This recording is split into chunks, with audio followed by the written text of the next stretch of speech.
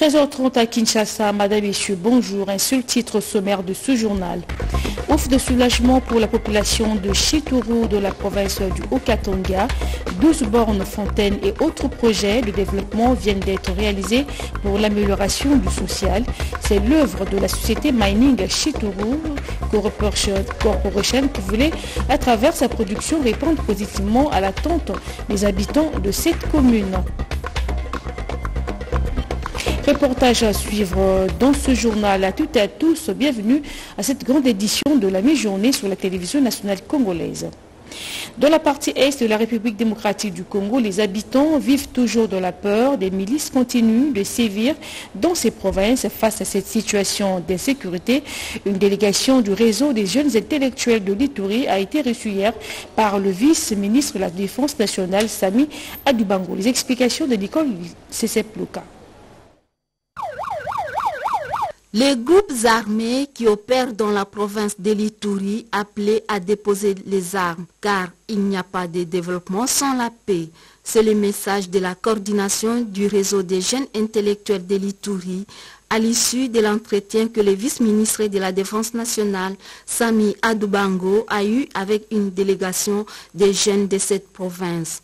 L'artiste comédien Baraka Ubemu autrement appelé Fils d'or, salue les efforts du vice-ministre de la Défense nationale dans la conscientisation de la jeunesse itourienne à cultiver la paix. J'appelle toute la population congolaise de soutenir la vision de l'excellence du président de la République, Félix Tshisekedi, qui n'accepte pas de dormir sur la réhabilitation et le retour de la paix dans la province de l'Itourie et sur des Nord Kivu. Le coordonnateur du réseau des jeunes intellectuels la province de l'Itourie, Sami Sugabo, a lancé un appel à tous les fils et filles de l'Itourie de s'impliquer pour le rétablissement d'une paix durable dans cette partie de la RDC. Le message que je, donne à tous les jeunes de la province de l'Itourie, c'est que nous devons abandonner la haine, et des guerres qui ne vont pas aboutir à une solution. Et nous devons revenir aux raisons que la province de l'Itourie, ça nous appartient plus. Et nous appelons aussi les autorités et notables de la province de l'Itourie de soutenir la jeunesse. La coordination du réseau des jeunes intellectuels de l'Itourie a trouvé une oreille attentive auprès du vice-ministre de la Défense nationale, Sami Adoubango, artisan de la paix et de la promotion des jeunes de cette province.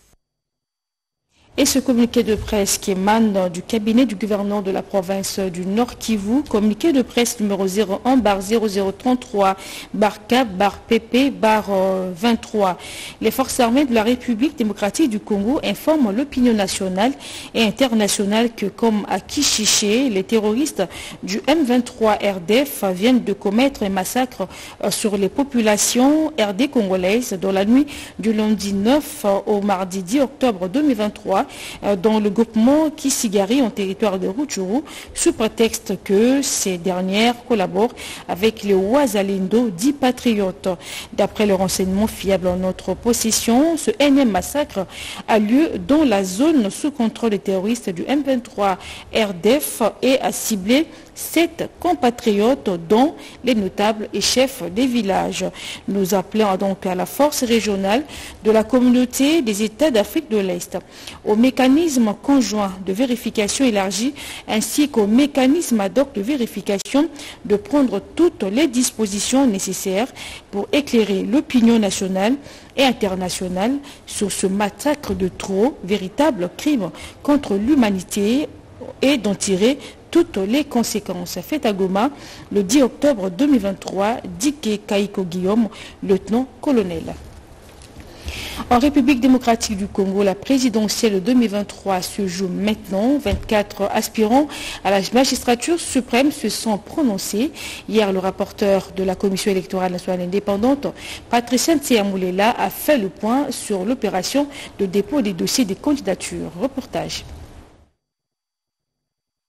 Tout s'est bien passé au niveau des dépôts de candidatures pour les candidats présidents de la République. Il y a eu 49 retraits des formulaires, dont 39 pour les indépendants et 10 pour les partis et regroupements politiques. La CENI a reçu 24 candidatures euh, parmi lesquelles il n'y a qu'une seule femme qui a postulé. Parmi les 24 candidats, nous avons 18 candidats indépendants et six candidats viennent des partis et regroupements politiques. La plus grosse difficulté rencontrée, c'est celle liée à l'engouement du dernier jour tous ces temps ici, euh, comme je le disais, il y a eu des semaines, il y a des jours où on n'avait pas de requérants. Nous avons eu des équipes, des professionnels. Nous avons également eu une très bonne équipe au niveau du BRTC. Les prochaines étapes, nous avons commencé l'étape de retrait et de substitution.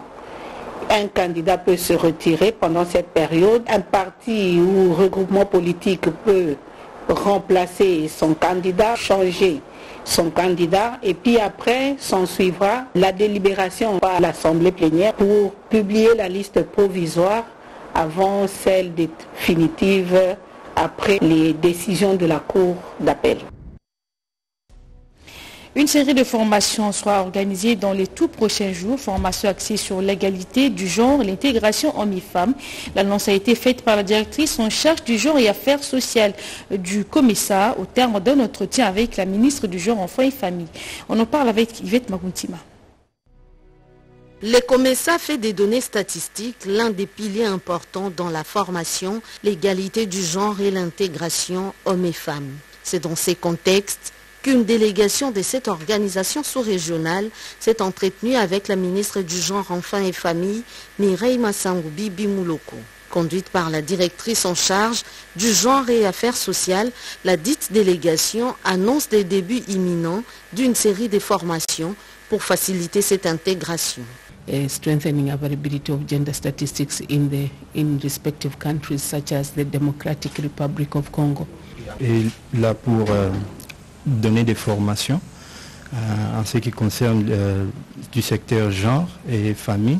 Donc ils sont là pour quatre jours, c'est constitué de 21 membres. Ils vont commencer à donner des formations et c'est là aussi dans les secteurs privés tant que publics. Ils vont continuer à donner des formations pour produire un document qui va montrer les données, les différences, comment ça évolue dans le secteur du genre et de la famille. D'être fait pour euh, promouvoir, faire avancer en ce qui concerne l'égalité des genres euh, entre les femmes et les hommes et aussi les enfants, comme garçons et filles. Le COMESA est une communauté économique régionale de l'Afrique orientale et australe.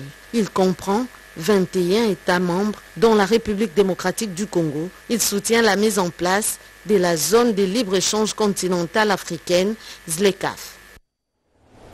Dans la mise en œuvre de la couverture santé universelle, le ministre de la Communication et Médias a annoncé hier au cours du briefing la construction des centres de santé et 200 millions de dollars américains prévus pour assurer l'accès des Congolais aux soins de santé. On écoute le porte-parole du gouvernement dans cet extrait choisi par Gaëto Magalano.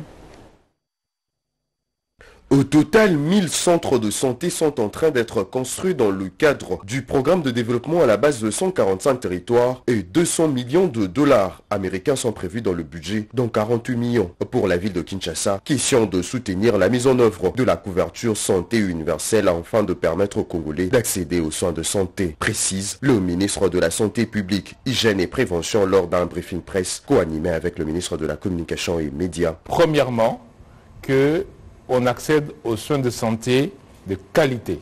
C'est-à-dire, les soins sont disponibles, sont accessibles, sont de qualité. Deuxième chose, ces soins couvrent tout le monde. C'est de là que vient le mot universel. Le programme de la gratuité de la maternité dans le cadre de la couverture santé universelle va être implanté en 2024 à travers les autres provinces en vue de diminuer la mortalité infantile et maternelle, particulièrement dans la province du Congo central et l'espace Grand Bandundu dans le sud-ouest de la RDC. de l'année prochaine, c'est-à-dire février-mars, on étend dans le reste du pays, donc toutes les mamans qui vont accoucher, qui vont tomber enceintes, qui vont accoucher, quel que soit le modèle d'accouchement, avec leur bébé pendant un mois, ne vont plus rien payer en RDC. Le ministre de la Communication et Médias, porte-parole du gouvernement, a abordé dans le même sens que son collègue de la Santé, saluant la vision salvatrice du président Félix Tshisekedi qui a mis l'homme au centre de l'action à travers notamment la santé. Répondant aux questions de l'actualité, le porte-parole du gouvernement a déclaré que l'exécutif central n'accorde aucun crédit au propos du général déserté et exilé John Numbi. Lorsqu'on pense qu'on est héros, on ne se soustrait pas. La justice de son pays, on ne se met pas en cavale et on ne fait pas des vidéos pensant pouvoir faire peur alors que vous savez que personne ne peut vous prendre au sérieux parce que les Congolais ont la mémoire.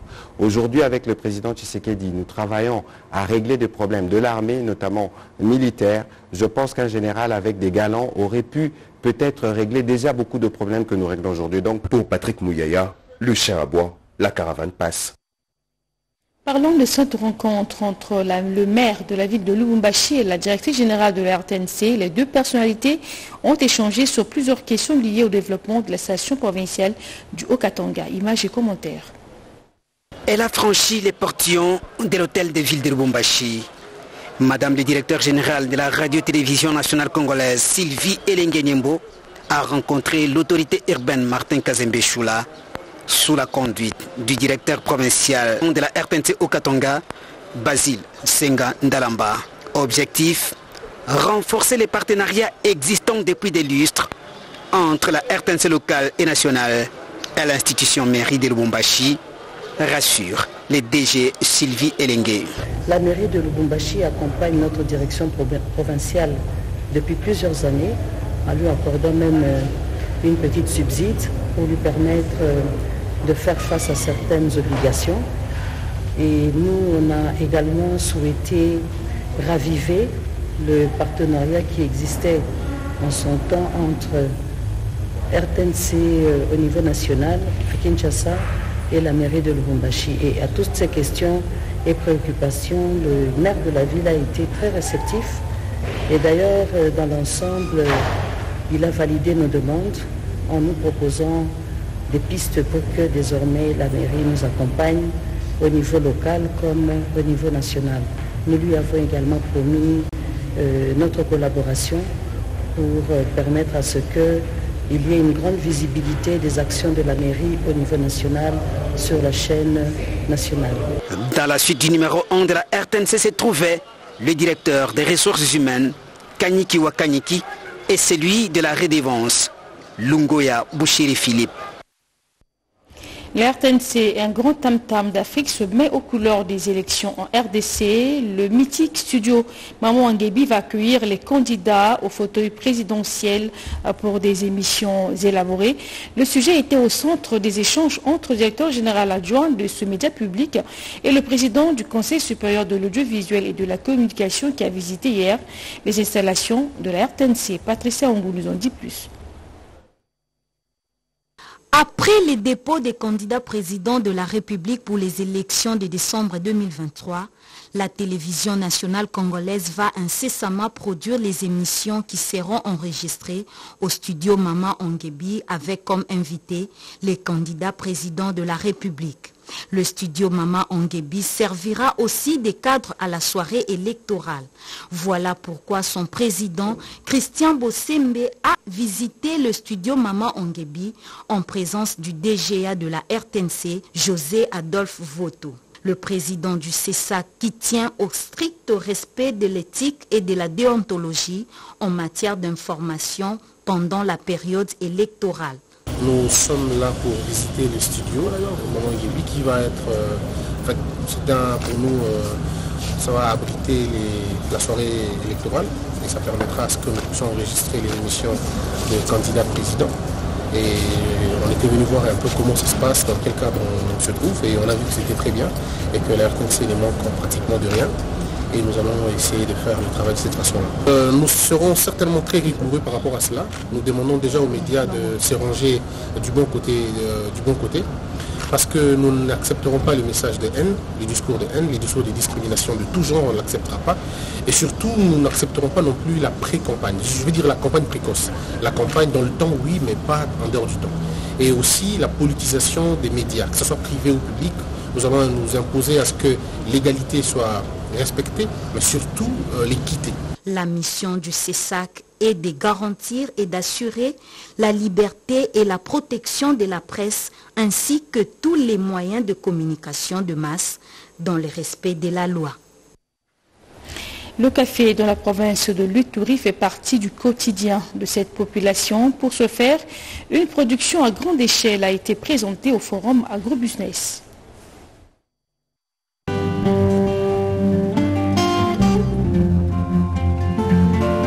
Le café de l'Itouri était également présent au DRC Agribusiness Forum tenu au Pullman Hotel à Kinshasa. Dans cette plateforme d'échange pour la transformation du secteur agricole en RDC, le café Pacifique, le pur arabica de l'Itouri a été dégusté par les participants. Un café produit en RDC en grande quantité et de très bonne qualité. Le producteur de cette denrée Pacifiqueta Oupar demande à la population congolaise d'être des premières consommatrices de ce café Made in Congo. Le café de l'Itourie, c'est meilleur. C'est un café qui va amener la paix en Itourie. En ayant ces cafés, euh, les gens auront l'emploi, les gens seront occupés, et ça va diminuer un peu la violence. Une occasion pour ce visionnaire d'encourager le gouvernement de concrétiser la vision du chef de l'État en ce qui concerne la revanche du sol sur les sous-sols congolais en allégeant la charge fiscale qui coûte aux agriculteurs. Il y a trop de taxes, par exemple, pour l'exportation,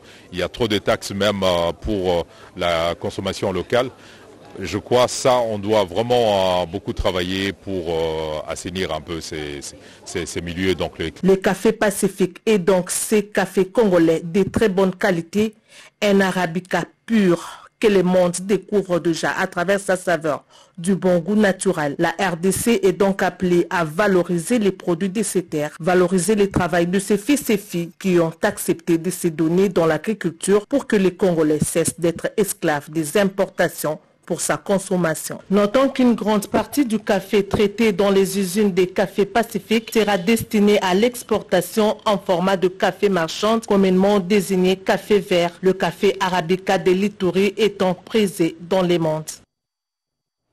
Randonnée de la province du Sud Kivu où le président de la Cour d'appel a renouvelé son serment, c'était au cours d'une cérémonie organisée. Images et commentaires.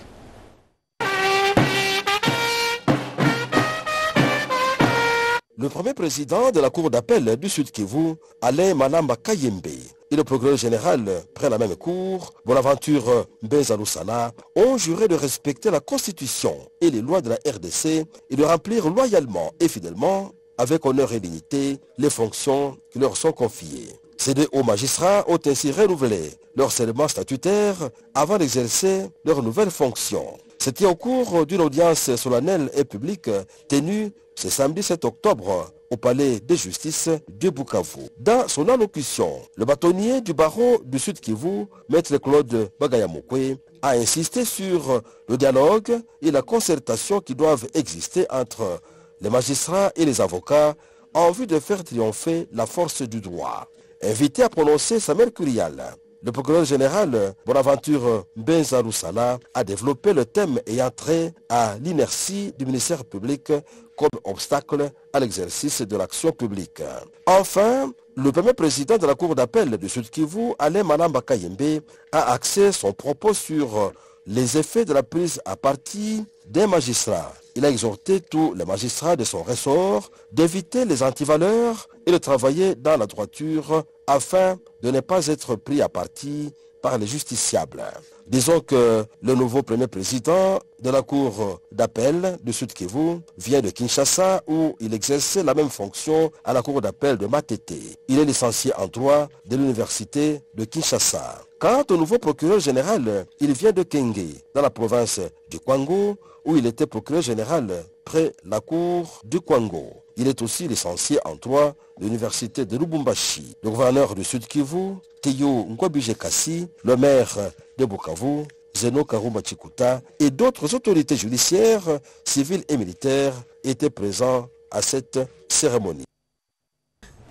Autre chose, deux systèmes d'adduction d'eau potable pour alimenter la population de la commune de Chitouri dans le Haut-Katanga et autres projets visant le développement et l'amélioration du social de cette population.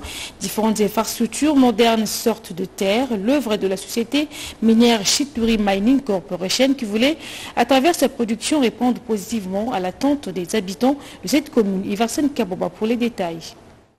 Des infrastructures modernes en pleine construction visant l'amélioration du bien-être de la population de la commune de Chitourou dans le Haut-Katanga, financées par l'entreprise minière Chitourou Mining Corporation à travers l'organisme spécialisé de la gestion de la dotation de la commune de Chitourou. Exécute deux projets axés sur le développement de cette municipalité. D'une part, l'érection de 12 bornes fontaines à travers les différents quartiers de cette commune et d'autre part, l'acquisition des entrants agricoles pour pouvoir renforcer davantage la production agricole des 450 ménagers et la remise proprement dite de la semence herbicide s'effectuera dans les entrepôts érigés dans le quartier Ngouya sur la route Likasi. Sous les orientations de la ministre des Mines, le président de la OSG Dot Chitourou, Karl Chimanga, est en train d'implanter ses projets d'intérêt public avec l'accompagnement de la bourgmestre de la commune de Chitourou ainsi que du gouverneur de la province du Haut-Katanga, Jacques Kiaboula Katui. Du quartier Ngouya à passant par le quartier Kilima jusque dans le quartier Kiplandé, la délégation du OSG DOT s'est rendue compte de l'évolution des travaux de l'érection de 12 bornes fontaines sur une note de satisfaction. Les secteurs de Walundu Djati et Walundu Psiti ont désormais des nouveaux dirigeants. La cérémonie de l'installation a été présidée par l'administrateur du territoire de Djougou. Justin prend immédiatement la responsabilité du secteur de Walendo Djati en qualité du chef du secteur. Deux chefs de secteur, dont celui de Walendo Djassi, Sa Majesté Gouza Justin, et celui de Walendo Pitz, Sa Majesté Paris Dieudonné, ont été installés par l'administrateur policier du territoire d'Endjougou, le commissaire supérieur principal, Rofé Mapela, en exécution de l'arrêté ministériel numéro 25, bar CAP, bar VPM, bar Minetercas, bar PKK, bar DESA 14, bar 2023 de son Excellence. Monsieur le vice-premier ministre, ministre de l'Intérieur, Sécurité et Affaires coutumières, portant nomination des chefs de la République démocratique du Congo, Gouza Kiza Justin remplace Claude Mandro à la tête du secteur de Walendou Djassi et Kiza Dieudonné remplace à son tour Jérôme Dialou en secteur de Walendou Piti. Les deux nominés prennent tous pour l'éradication de l'insécurité et les clivages divisionnistes des mots qui ronge ces deux secteurs en province de l'Itourie. Installation qui est liée devant une foule immense venue pour la circonstance pour ainsi témoigner leur acceptation de leur nouveau dirigeant et plusieurs autres invités des marques venus pour la circonstance. Rappelons que ces installations suivies des remises et reprises ont lieu à Pimbo et à Libye, respectivement chef-lieu du secteur de Walendou Djassi et Walendou Piti, où des procès-verbaux d'installation ont été signés pour ainsi clôturer cette cérémonie. Richard Goulaire. L'agriculture numérique est l'une des solutions pour la rentabilité de la production agricole. Pendant deux jours, les jeunes entrepreneurs du Kassai oriental ont suivi une formation sous cette nouvelle technique agricole des jeunes d'Ali, Institut africain de leadership agricole, en collaboration avec le Conseil provincial de la jeunesse, a organisé du 6 au 7 octobre 2023 une formation sur l'utilisation des outils numériques dans l'agriculture. C'était dans la salle Senarep Cefod avec la contribution de ATA, Agenda de transformation agricole, et ITIA, Institut international d'agriculture tropicale. Pendant deux jours, plus d'une cinquantaine de jeunes entrepreneurs dans les domaines agricoles ont été outillés sur l'agriculture numérique. Assia Jafar, de la brigade des jeunes d'Ali qui travaillent dans l'agriculture numérique, facilitatrice venue du sud Kivu pour cet atelier, a expliqué les différents avantages de l'agriculture numérique. On les utilise pour les biens de, de l'agriculture euh, pour la détection de maladies, pour euh, l'analyse du sol, pour euh, les traitements aussi des maladies et voir aussi les, agents causaux qui rongent nos plantes et nos cultures tout est possible avec le numérique. Une participante apprécie cette agriculture parce qu'elle améliore le rendement. Vu que les, champs ou bien les activités que nous faisons se fassent un peu loin de nos milieux d'habitation, avec l'agriculture numérique, c'est facile de surveiller ces exploitations, de prévenir certaines maladies qui causent des faibles rendements que nous observons actuellement dans notre province. Si nous adoptons le côté numérique de l'agriculture, nous pouvons faire encore plus que ce qui est fait déjà d'habitude.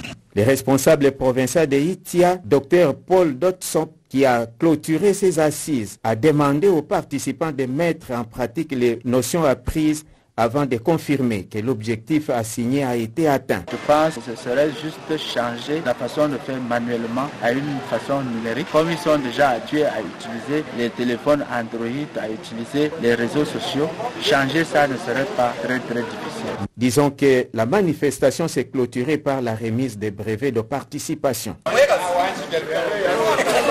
Campagne de mobilisation des recettes de la province du Kassai. Elle a été lancée par le ministre provincial du budget, Bokele Diolé, avec l'appui technique et financier du projet encore. Les détails avec Franklin et Claire Calombo. Winga Efongue, coordonnateur provincial du projet encore, a devant les services d'assiette, la DGRCAS, la FEC, le membre de la société civile, le chef des quartiers et autres participants souhaité la bienvenue à tous et donne ici l'objectif de ces assises. L'objectif de notre rencontre est de chercher à accroître les recettes de la province pour ce second semestre. Pour capitaliser le travail que nous avons fait il y a six mois ou sept mois, nous voulons organiser aujourd'hui une campagne de mobilisation des recettes. Comme vous le savez, la province pour survivre a besoin des ressources pour réaliser son programme d'action. Bokele Djolé, ministre provincial du budget, représentant du gouverneur de province, n'a pas hésité à remercier le projet encore pour son accompagnement au gouvernement provincial du Kassai et donne ici quelques orientations. Euh, depuis un certain temps, il s'observe une sorte de, fiscale au niveau de, la population. Il fallait inviter la société civile et euh, les agents de la DGCAS, y compris également les chefs de quartier, commencer par d'abord euh, une formation et, de les larguer sur le terrain pour qu'on puisse faire comprendre à la population que sans la taxe, la province ne peut pas vivre. Les, finances publiques de la province proviennent de, de, de, des impôts et taxes que paye la population de la province. C'est la salle des réunions de Blue Airlines qui a servi de cadre au démarrage de ces présentes assises. Également dans l'actualité, l'Université des sciences et des techniques de l'Oudia plaide pour la réouverture de sa faculté de médecine humaine. La coordination estudiantine de cet établissement insiste pour que le ministre de l'enseignement supérieur universitaire visite le nouveau laboratoire moderne pour la pratique des étudiants. Le point avec Cédric Kenina. La communauté estudiantine de l'Université des sciences et des technologies de l'Odja tenait à une visite du ministre de l'enseignement supérieur et universitaire. Une surprise désagréable qui a vu les passages du patron de l'enseignement supérieur et universitaire annulés de son agenda.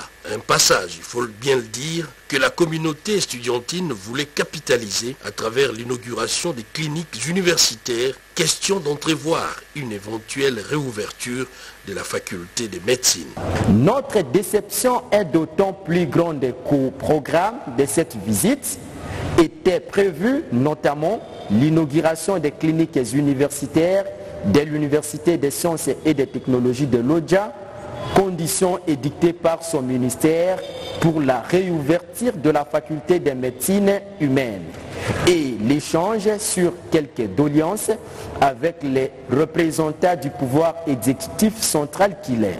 En effet, contre toute attente, Monsieur le ministre a été empêché délibérément par un député national de l'ODJA, honorable Ampeta Chonda Emmanuel, député. L'USTL, par ses étudiants et formels, les milieux universitaires sont apolitiques. Clôture de l'année académique 2022-2023 dans quelques universités du pays. L'activité a été présidée par le secrétaire général du ministère de l'Enseignement supérieur universitaire. Le lac, un de célèbres poèmes d'Alphonse de la Martinée, considéré comme le fleuron de la poésie romantique. Au lac, l'année à peine fini sa carrière et près de flotte, chérie devait revoir. Le vers de cet écrivain, corroboré avec l'événement de ces week-ends à travers plusieurs institutions de l'enseignement supérieur et universitaire sur le territoire national, en particulier l'université William Booth. À l'ambiance était au rendez-vous. C'est en présence des autorités académiques. Il s'agit de la cérémonie officielle de la collation de grade académique 2022-2023 en premier tout comme en deuxième cycle, surtout avec un cachet spécial, la remise de diplômes homologués, dont signé par le ministre Moïse Donzangui. Il s'est souligné que ce n'est pas pour la première, c'est déjà une routine dans cet alma mater qui jette sur le marché d'emploi chaque année plusieurs informaticiens, médecins, pour ne citer que cela. Occasion faisant le larron, le professeur Dr Roger Bimoala circonscrit le cadre. Aujourd'hui, nous célébrons la clôture de l'année académique 2022-2023 et mieux encore, nous célébrons nos jeunes qui viennent de réaliser les attendus du règlement afin d'obtenir leur diplôme. Aussi à présenter 69 jeunes médecins qui viennent de terminer chez nous après un parcours de combattants de plus de 8 ans. Nous sommes très heureux d'avoir contribué tant soit peu à la formation de ces cadres dont a grandement besoin notre pays. Notons que la clôture de cette année académique coïncide avec le nouveau système LMD. En 2029, donc dans six ans, l'association des anciens élèves des écoles chrétiennes va célébrer ses 100 ans d'existence pour mieux préparer ses centenaires. Les membres de cette association se sont rencontrés à la cathédrale Notre-Dame de Linguala, question de redynamiser et de sensibiliser la jeunesse pour assurer la relève. D'autres précisions avec Iverson Kaboba. En prélude du centenaire des frères des écoles chrétiennes au Congo, à prévu en 2029, cette rencontre des Assanifiens se veut être un moment de redynamisation et de sensibilisation de la jeunesse à maintenir la flamme en vue d'assurer la relève. Cet événement sera également marqué par l'arrivée des frères des écoles chrétiennes au Congo, dont la province du Congo central choisit comme point de départ de l'essaimage. Relatant l'histoire, le président général Dieudonné Bifoumanou a rappelé que c'est en 1909 qu'arrivent en RDC les tout premiers frères des écoles chrétiennes et c'est 20 ans plus tard, soit en 1929, que fit créer dans notre pays l'association des anciens élèves des écoles chrétiennes. Parmi eux, l'on compte des grandes personnalités du pays, dont au plus haut point le président Joseph Kassavoubou, un lassalien du Kango, Congo central le président Joseph Désiré Mobutu, qui l'a été à Mbandaka, sans oublier l'actuel chef de l'État, Félix-Antoine Tshisekedi Chilombo, qui a passé sa scolarité lassalienne à Tumba dans la province du Congo central, pour penser et soutien à leurs frères. Nous souhaitons préparer déjà les gens pour qu'ils s'apprêtent, qu'ils mobilisent les fonds, que tout se fasse pour qu'en 2029, nous ne soyons pas discrets. Il y a un membre de la SANEF qui s'est présenté candidat chef de l'État, en la personne de M. Félix Antoine Tshisekedi Chilombo. Il est membre de la SANEF par entière, il a étudié à Tumba, là c'est l'homme, d'aucun doute, mais c'est à nous, à Sanéfiens, de dire, comme lui est candidat, nous à Sanéfiens, nous allons l'accompagner. La Salienne et la Salien ont répondu présent à ces rendez-vous, question de témoigner leur gratitude à l'endroit de leur généreux éducateur. La suite de l'actualité nationale dans cette revue de presse commentée par Jean-Pierre Ndolo Demazou. Bonjour à tous. Situation sécuritaire à l'Est, les M23 fuient la foudre de Ouazalindo et se replient vers Bunagana, annonce rdc.com.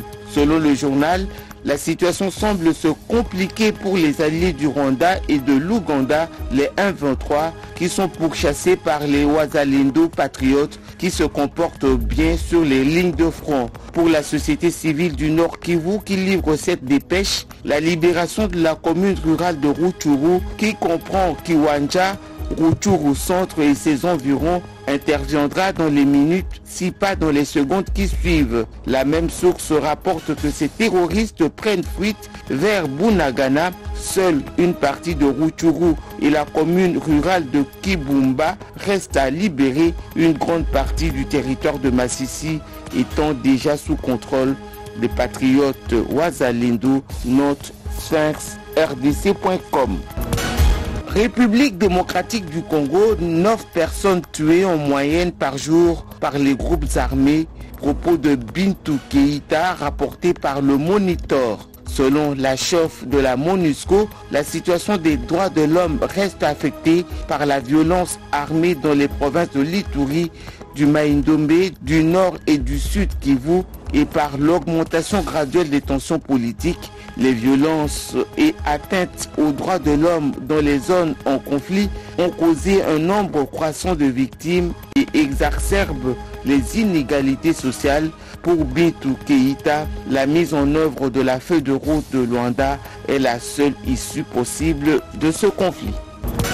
Les ministres de la Défense de l'EAC proposent la prolongation du mandat de la force régionale en République démocratique du Congo jusqu'à ce que la paix soit pleinement rétablie, constate la référence plus.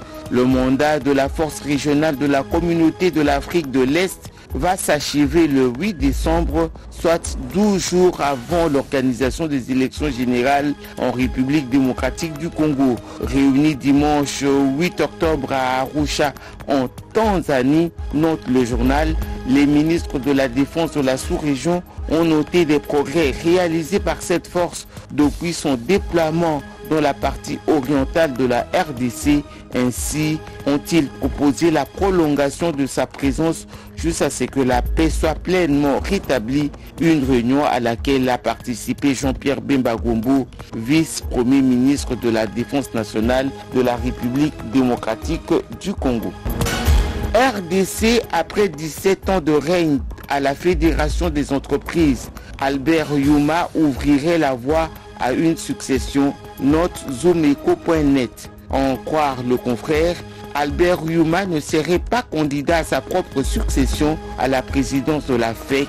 Il s'abstiendrait de briguer un nouveau mandat après 17 ans de règne.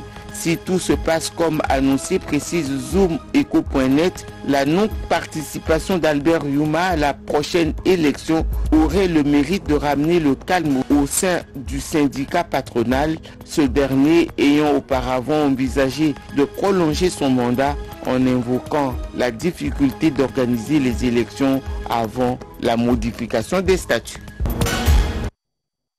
Ainsi donc l'actualité dans le pays. Merci d'avoir suivi ce journal réalisé par Nono Matsekou Hélène, Jonathan Balama, Sylvie Makumbani et coordonné par Jacques Kaboba Séduga. L'information continue sur la chaîne nationale.